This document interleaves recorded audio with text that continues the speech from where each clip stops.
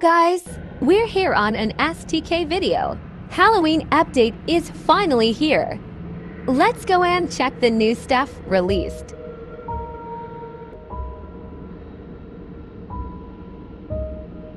Look at the lobby. The design, it's amazing.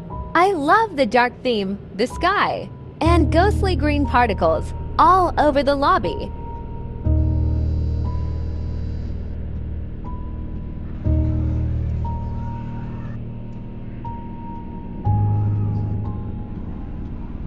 There's a new knife. Looks really good, especially the particles effect. There's also a new killer.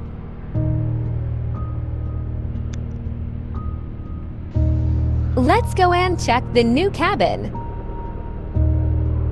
Looks big and expensive.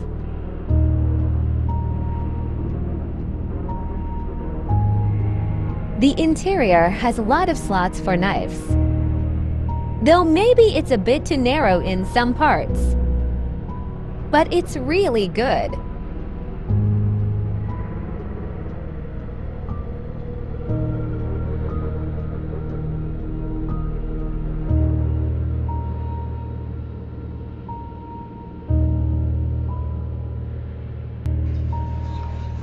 They added another spin where you can get coins, XP, and it looks like a mystery knife and a killer.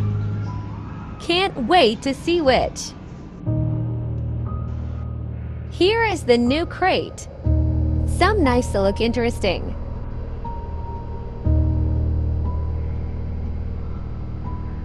Now, if we go here, we can check another secret crate that only spawns for 15 minutes, randomly I think. It's similar to the void chests from last year's Halloween update.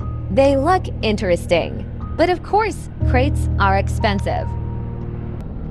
And finally, here are the quests that we have to complete to get tickets and other stuff.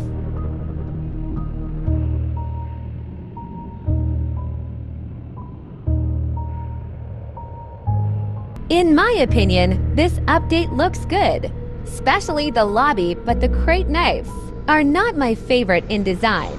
We will see the rest of the knives effect eventually. Hope you liked the video. Bye bye.